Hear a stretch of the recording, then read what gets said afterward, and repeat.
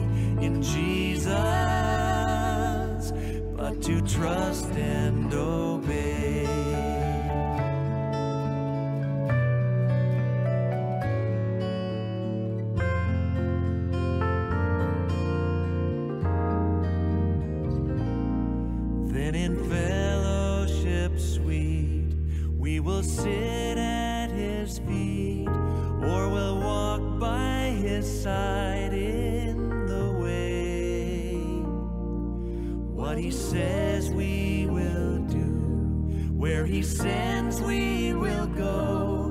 Never fear, only trust and obey.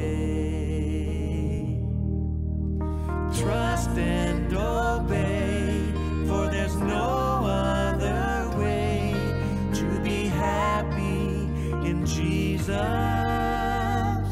but to trust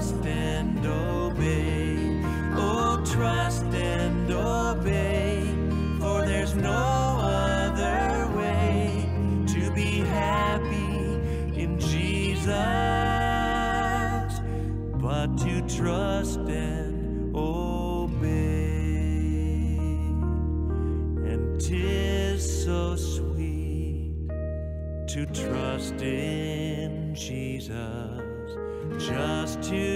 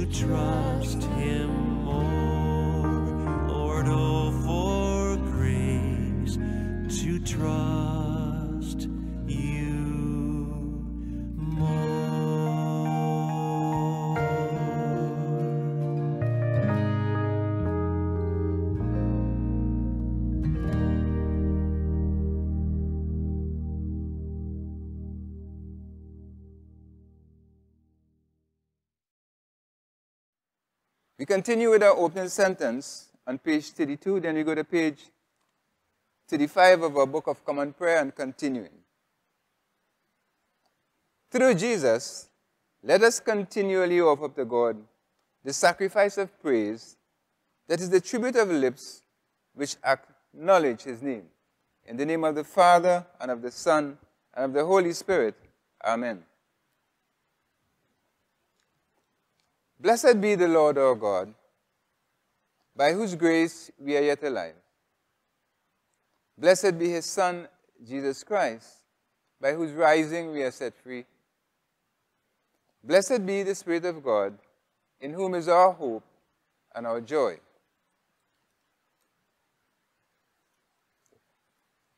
Father, we come together in the name of your Son, Jesus Christ, our Redeemer, to offer you our worship, praise, and thanksgiving. To you belong all power and glory. You are the source of all goodness. Let our worship be a witness to your peace and saving power. Through your Spirit, may we ever rejoice in the abiding presence of our risen and ascended Lord Amen. The Jubilate. O shout to the Lord in triumph, all the earth. Serve the Lord with gladness, and come before his face with songs of joy. Know that the Lord, he is God. It is he who has made us, and we are his. We are his people, and the sheep of his pasture. Come into his gates with thanksgiving and into his courts with praise. Give thanks to him and bless his holy name. For the Lord is good, his loving mercy is forever, his faithfulness throughout all generations. Glory to the Father, and to the Son, and to the Holy Spirit, as it was in the beginning is now, and shall be forever. Amen.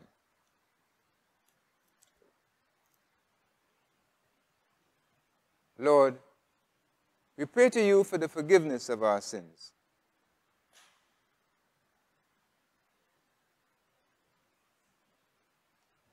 Have mercy upon us, most merciful Father. In your compassion, forgive us our sins, known and unknown, things done and left undone, and so uphold us by your Spirit, that we may live and serve you in the newness of life to the honor and glory of your name, through Jesus Christ our Lord. Amen.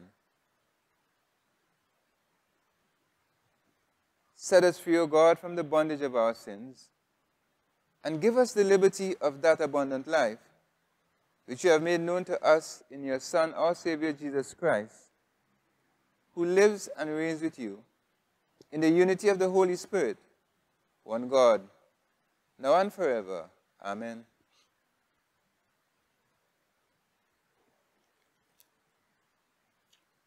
The Psalms appointed for this morning 101 and 109. Psalm 101. I will sing of the mercy and justice. To you, O Lord, will I sing praises.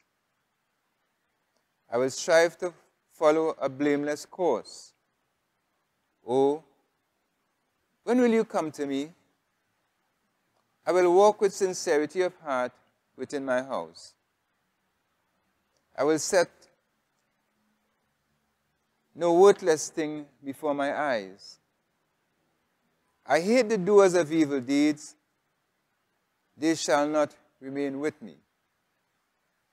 A crooked heart shall be far from me. I will not know evil. Those who in secret slander their neighbors, I will destroy. Those who have a heart, haughty look and a proud heart, I cannot abide. My eyes are upon the faithful in the land, that they may dwell with me.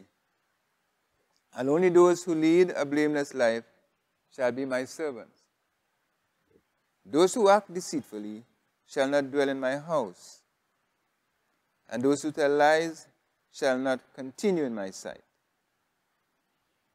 I will soon destroy all the wicked in the land, that I may root out all evildoers from the city of the Lord. Psalm 109, begin at verse 1 to 4, and then 20 to 30. Hold not your tongue, O God of my praise, for the mouth of the wicked, the mouth of the deceitful is open against me. They speak to me with lying tongues. They encompass me with hateful words and fight against me without a cause. Despite my love, they accuse me. But as for me, I pray for them. They repay evil for good and hatred for my love. But you, O Lord, my God, O deal with me according to your name. For your tender mercy's sake, deliver me. For I am poor and needy, and my heart is wounded within me. I have faded away like a shadow when it lengthens. I am shaken off like a locust. My knees are weak through fasting, and my flesh is wasted and gaunt. I have become a reproach to them. They seek, they see, and shake their heads. Help me, O Lord my God. Save me for your mercy's sake. Let them know that this is your hand, that you, O Lord, have done it. They may curse, but you will bless. Let those who rise up against me be put to shame, and your servant will rejoice. Let my accusers be clothed with disgrace, and wrap themselves in their shame as a cloak. I will give great thanks to the Lord with my mouth. In the midst of the multitude will I praise him, because he stands at the right hand of the needy to save his life from those who would condemn him. Glory to the Father, and to the Son, and to the Holy Spirit, as it was in the beginning is now, and shall be forever. Amen.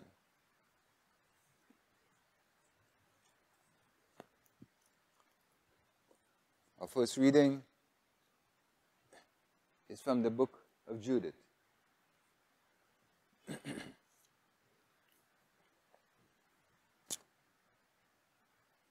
reading from the book of Judith, chapter 10, beginning at verse 1 through 23. When Judith had stopped crying out to God, the God of Israel, and had ended all these words, she rose from where she lay prostrate.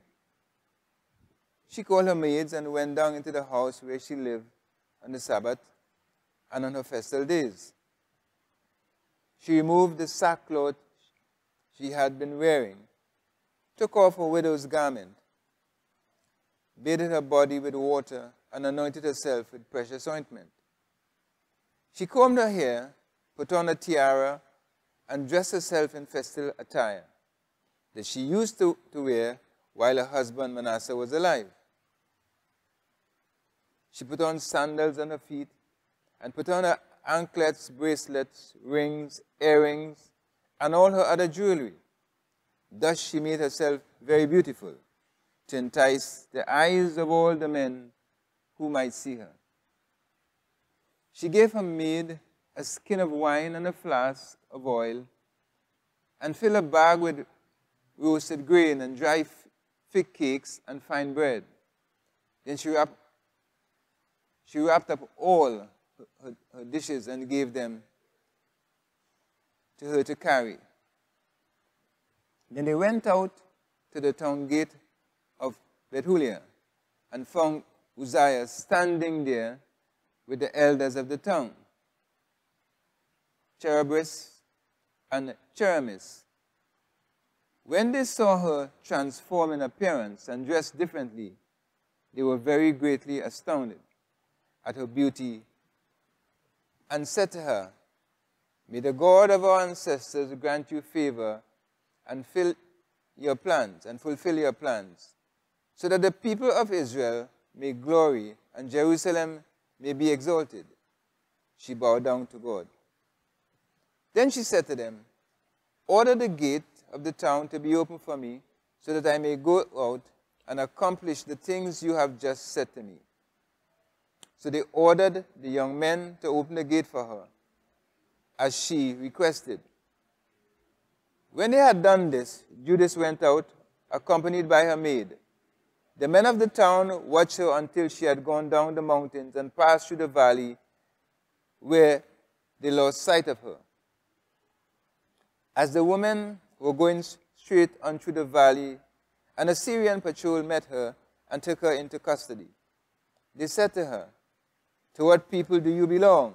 And where are you coming from? And where are you going? She replied, I am a daughter of the Hebrews, but I am fleeing from them, for they are about to be handed over to you to be devoured.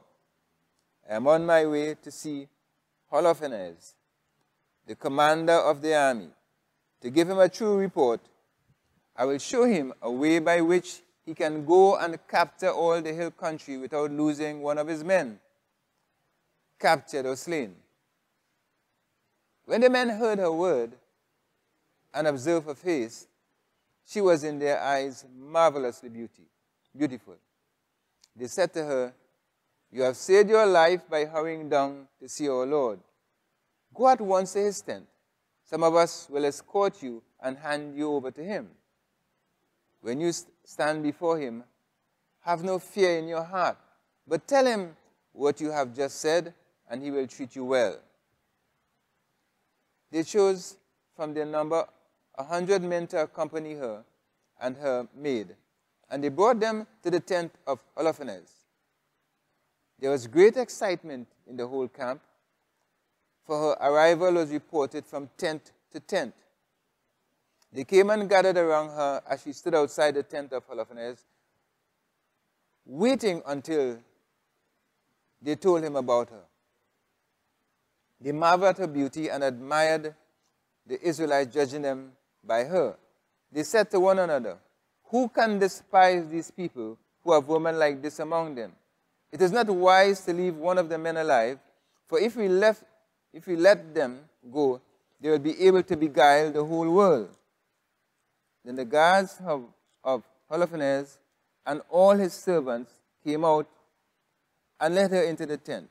Holofernes was resting on his bed under the canopy that was woven with purple and gold, emeralds, and other precious stones. When they told him of her, he came to the front of the tent with silver lamps carried before him. When Judith came in the presence of Holofernes and his servants, they all marveled at the beauty of her face. She prostrated herself and did obeisance to him, but his slaves raised her up. This is the word of the Lord. Thanks be to God. We continue with the Benedictus.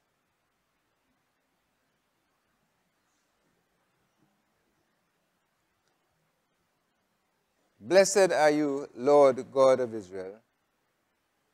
You have come to your people and set them free.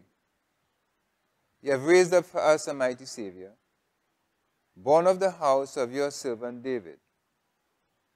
Through your holy prophets, you promised of old to save us from our enemies, from the hands of all that hate us, to show mercy to our forebears, and to remember your holy covenant. This was the oath you swore to our father Abraham to set us free from the hands of our enemies, free to worship you without fear, holy and righteous before you all the days of our lives.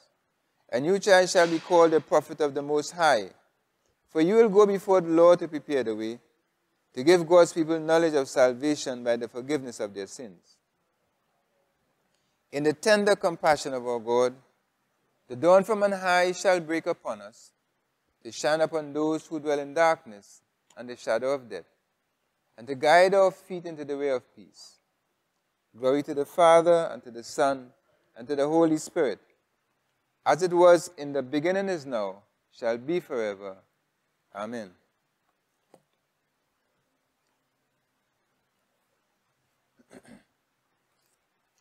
Our second reading is from the Gospel of Luke.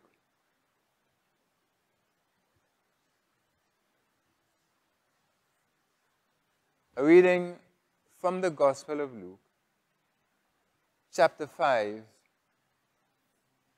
begin at verse 27 and on to 39. After this, he went out and saw a tax collector named Levi sitting at the tax booth. And he said to him, Follow me. And he got up, left everything, and followed him. Then Levi gave a banquet for him in his house, and there was a large crowd of tax collectors and others sitting at the table with them. The Pharisees and the scribes were complaining to his disciples, saying, Why do you eat and drink with tax collectors and sinners? Jesus answered, Those who are well have no need of a physician, but those who are sick. I have come to call not the righteous, but sinners to repentance. Then they said to him, John's disciples, like the disciples of the Pharisees, frequently fast and pray, but your disciples eat and drink. Jesus said to them, You cannot make wedding guests fast while the bridegroom is with them, can you? The days will come when the bridegroom will be taken away from them, and they will fast in those days. He also told them a parable. No one can tear a piece from a new garment and sew it to an old garment. Otherwise, the new will be, will be torn, and the piece from the new will not match the old. And no one puts new wine into old wineskin. Otherwise, the new wine will burst the skin and will be spilled, and the skin will be destroyed.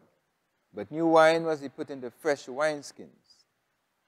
And no one, after drinking old wine, desires new wine, but, say, but says, The old is good. This is the word of the Lord. Thanks be to God. Amen.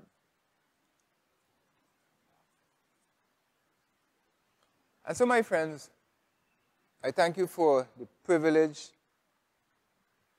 of having me share my thoughts on the scripture, on the gospel reading, on today's gospel reading. I do so in the name of the Father, and of the Son, and of the Holy Spirit. Amen. Now, the scripture relates that following his healing of the paralytic, whose friends had lowered him through the roof, Jesus continued his marvelous ministry on earth. He encountered Levi sitting at a tax booth, and Jesus said to him, Follow me. And he got up, leaving everything, and he followed Jesus.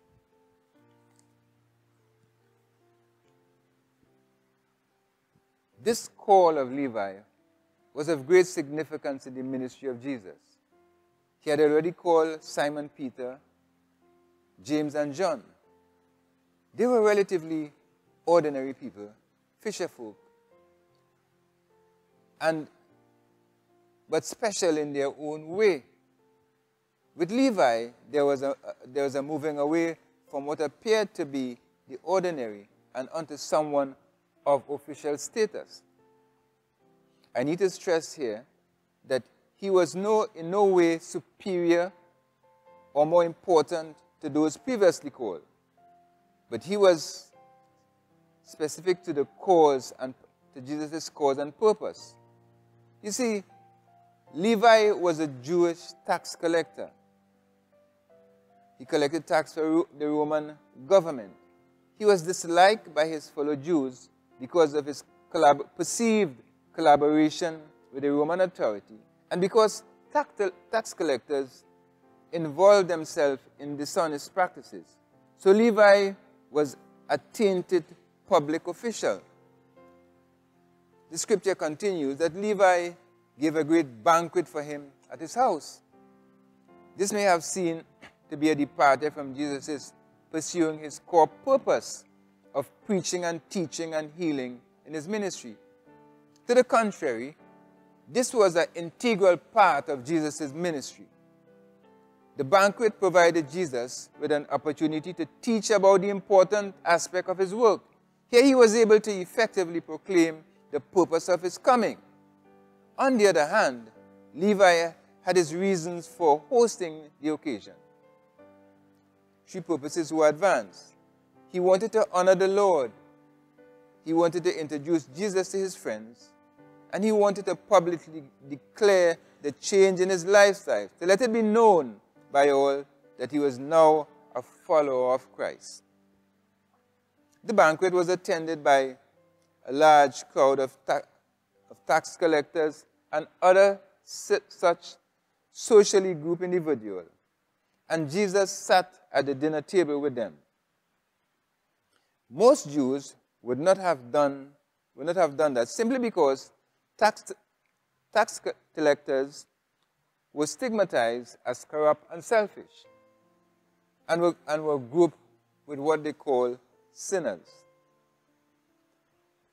The Pharisees and scribes then complained to the disciples and inquired of Jesus, Why do you eat and drink with tax collectors and sinners? At this point, Jesus revealed an important purpose of his ministry by answering that those who are well need, have no need of a physician, but those who are sick. And he said, I have come to call not the righteous, but sinners to repentance. In the course of his ministry, Jesus did not keep company, did not really keep the company of tax collectors uh, or participated in any sinful activities or do anything that would compromise his teaching and his ministry. He, however, used the opportunity to teach, to teach and to rebuke detractors and to bless those who were desirous of becoming his followers. The scribes and Pharisees were highly critical of Jesus for associating with what they considered to be despised people of the community. Jesus, however, answered their, their absurdity by pointing out his purpose for coming into the world, one which was to heal the spirit, spiritually sick and other sicknesses, normal sicknesses, and to welcome all whosoever would come to him. The Pharisees had considered themselves to be righteous and did not perceive that they were in need of spiritual healing. The tax collector and sinners understood their need to be healed and so sought the great physician. They sought to be in the company of Christ. To press their point, the Pharisees then told the disciples, saying, while the, press the point, they said, the disciples do not fast as did the disciples of John and the Pharisees. Reaching for a point, searching for a point to condemn Jesus. The Lord responded in saying that there was no need for his disciples to fast in his presence while he's with them. Here, Jesus was, was associating fasting with being sorrowful or being in mourning, giving an indication that the time will come when he would no longer be with them and they will have the opportunity to fast and to mourn. Such is the case of the bridegroom being present as opposed to him being absent or having left the wedding feast.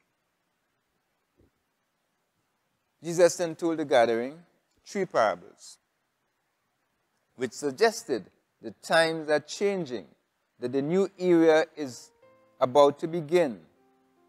But there can be no mixing of the old with the new, for one would not be compatible with the other. In fact, the first parable Jesus told, that no one tears a piece of cloth from a, from a new garment and sew it an old garment. Otherwise, the new will be torn and the piece from the new will not match the old. The old garment refers to the old legal system and old customs, while the new garment speaks of the era of grace which Jesus was ushering in. Any effort to mix law and grace would end in the ruin of both and of no benefit to anyone. The second spoke of putting new wine into old wineskins. The fermentation of the new wine would burst the old wineskin and spilling the wine. This speaks of the old outmoded forms of ordinances, traditions, and rituals of Judaism. These were too rigid to hold the joyful energies and exuberance of the new era ushered in by Christ. The third parable told that no one, stated that no one drinking old wine desires the new wine, but says the old wine is good. This was reference to the natural relu reluctance of man to ab abandon the old customs and embrace the new. Saying the old is better. This is because some find difficulty in embracing the new, having settled in their old ways. And so, my friends, Jesus used the call of Levi to demonstrate to demonstrate that he would be willing to call into service even those scorned by society, even those rejected by society. Jesus was willing to call them into service. That he, would, that he would occupy the hearts and minds and spirit of anyone who invites him in and are not afraid to proclaim him. That he decides who will come to him and, and the negative voices of, and thoughts of man cannot deter him from welcoming any, anyone into his embrace.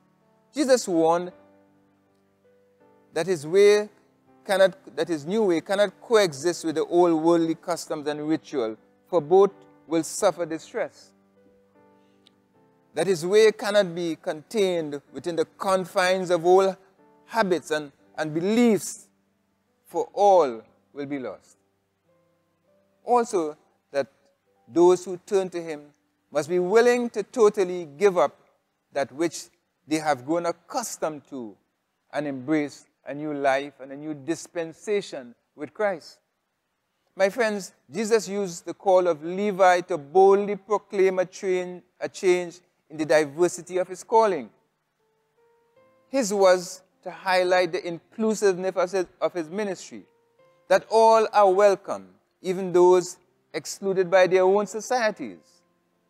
We are encouraged and guided to emulate Christ in our embrace of others, especially those who are ostracized by our society. My friends, do we show those of whom society despise of, do we show them that love and that embraciveness? Or do we follow, go with the flow and despise them also. You see, Jesus made a point that given a chance, given a chance, each person can validate themselves. You may very well find that if given the opportunity, everyone can make a valuable contribution to society, to our community, and even our church. As the gospel evolved, we would see how Levi turned out to be a most important member of Jesus' ministry. For in the Gospel of Matthew, Levi is identified to be Matthew. Matthew, who did so much in the ministry of Christ. Jesus used this enlistment to emphasize the new significance of his new teaching, which is in no way compatible or miscible with the old teaching of Judaism. As one commentator explained, there is a, a natural reluctance of man to abandon the old for the new. The new is not always comfortable. And people, most people, hate to move out of their comfort zones.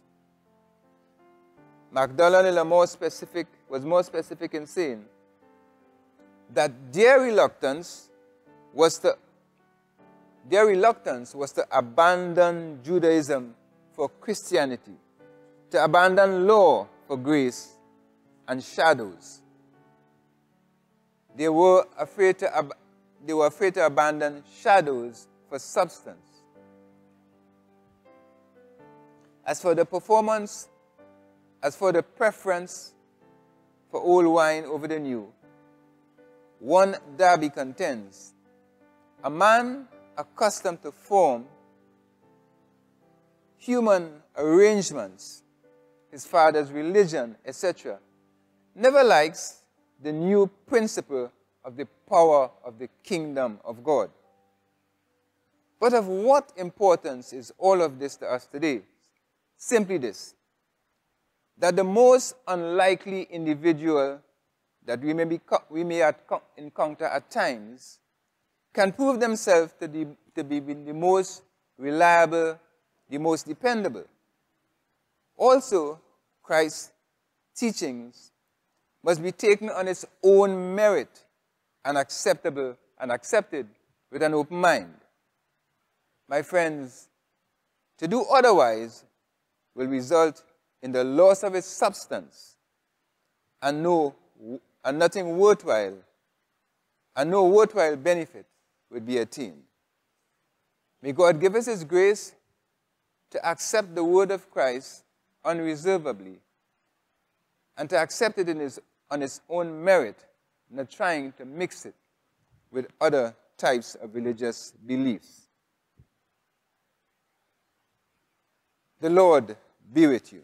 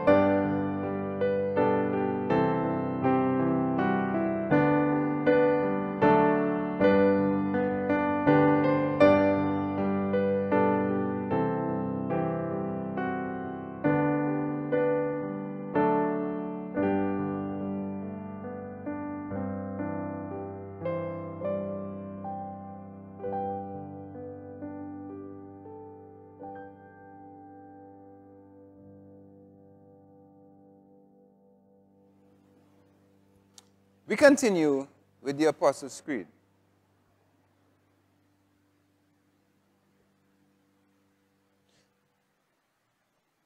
I believe in God, the Father Almighty, the creator of heaven and earth. I believe in Jesus Christ, his only Son, our Lord. He was conceived by the power of the Holy Spirit and born of the Virgin Mary. He suffered under Pontius Pilate, was crucified, died, and was buried. He descended to the dead. On the third day he rose again.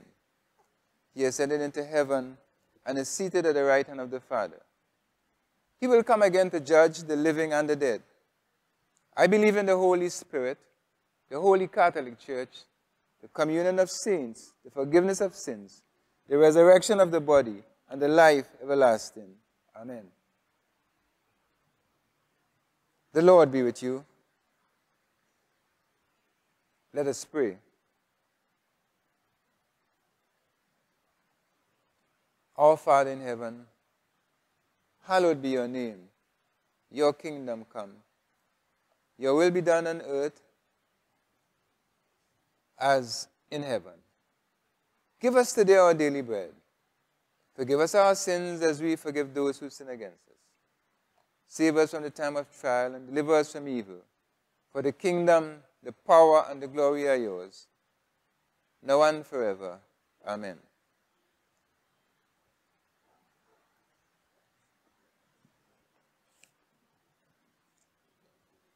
By way of intercession, we continue to pray for a world, for a world gripped with so many wars, so much discontent. And we pray that the hearts of men would soften towards each other and that other ways would be found to settle disputes. Lord, in your mercy, please hear our prayer. We continue to pray to God that the spread of this virus would be checked, that the lessons learned from this pandemic would, would resonate in the hearts of men.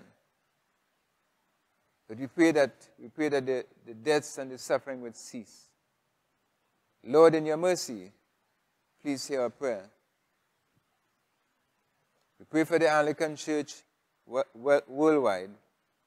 We pray for the well being of the Archbishop of Canterbury, the most, the most reverend Justin Welby. We pray for our provincial Archbishop, the most Reverend Howard Gregory. We pray fervently for our own bishop, the Right Reverend Claude Berkeley, and we pray for his family, especially at this time. We pray for the retired bishops, Clive Calvin, Roland Clive, especially Bishop Clive in his moment of grief. May God continue to bless and keep them in their golden, in their golden days. In our diocesan cycle of prayer, today we pray for the St. Mary's Church Tacarigua. We pray for the St. Mary's Children Home, for Bishop Anstey High School East and Trinity College East. We pray for, pray for the parish priest, the Reverend Father Anderson, Dr. Anderson Maxwell, Reverend Father Titus Akbarali, Reverend Presbyter Daniel Pontiflex Andre, Reverend Rodwin Fanfare, Reverend Mark Haynes, and Reverend Carl Scipio. Remembering our former rector, Canon Jemmett Hazelwood, praying that God will continue to bless him and keep him in this the golden years of his life. We bring before God the five congregations of our parish at Oropune, St. Philip's, the Church of the Transfiguration, St. Aidan's, St. Mary's. Remembering the sick, praying that they make good use of this very important time to draw closer to God and to seek His mercy and forgiveness, and to allow His healing, the healing grace of His Son, to enfold them. We pray for those who have passed, recently passed, remembering Reverend Presbyter, the former Reverend Presbyter, Edwina Peters, remembering Reverend Theodore Finley,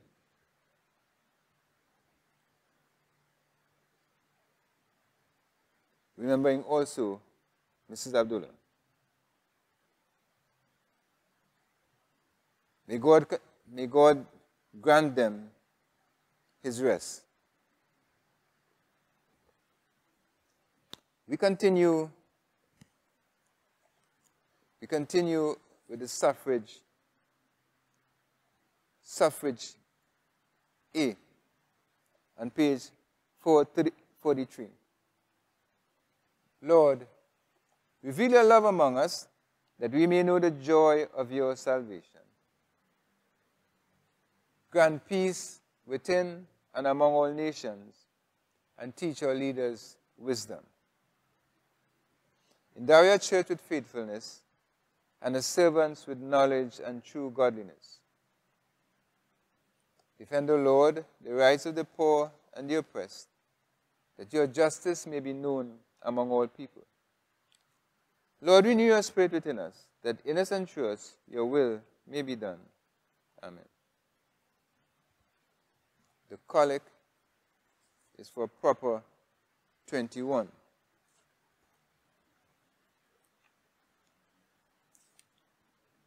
Found on page 179. Let us pray. O God, you declare your almighty power chiefly in showing mercy and pity. Grant us the fullness of your grace, that we, running to obtain your promise, may become partakers of your heavenly treasure. Through Jesus Christ, O Lord, who lives and reigns with you and the Holy Spirit, one God, forever and ever. Amen.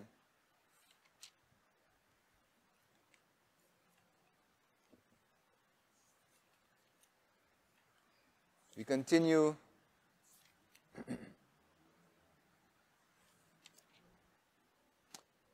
We continue with the prayer for the departed. Almighty God, remember before you today your faithful servants, Edwina, Theodore, and Miko.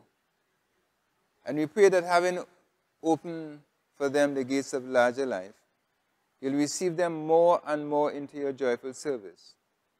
That with all who have faithfully served you in the past, they may share in eternal victory of Jesus Christ our Lord, who lives and reigns with you in the unity of the Holy Spirit, one God, forever and ever. Amen. We continue on page 45.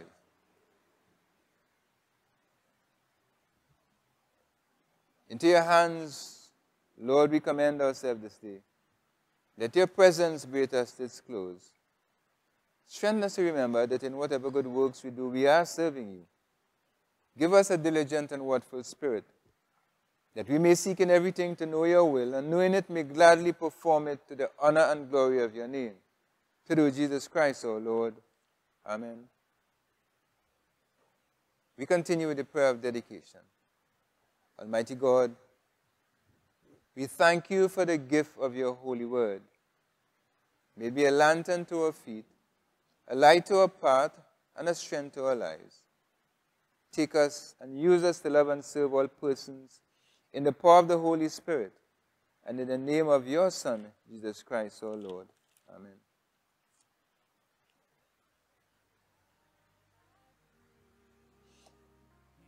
May the grace of our Lord Jesus Christ and the love of God and the fellowship of the Holy Spirit be with us evermore. Amen. The Lord be with you. Let us bless the Lord. Thanks be to God. Let us now go in peace and serve the Lord in the name of Christ. Amen. In the name of the Father, and the Son, and the Holy Spirit.